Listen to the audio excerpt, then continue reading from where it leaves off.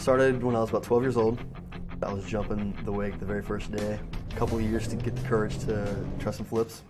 And ever since then, just um, been competing. It was a, a big choice of where I went to school. There was a rider named Joel Cahill, and he went to UF for four years. After talking to him, he said it was a great school. Said um, there's a lot of things going on in wakeboarding, which at the time, and now there are. Sickest trick I got right now, uh, I'd say it was a grab front move. Um, really consistent. I say really consistent. Probably following it. In competitions, I am pretty focused on what I'm doing.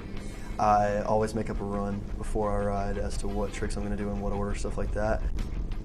With UCF here, with Rollins here, with ASU here, it's anybody's game, especially with the with the format, with the head-to-head kind of thing. As far as our team, we have an extremely good chance. We have the drive, we got the, the mental the mental thing going.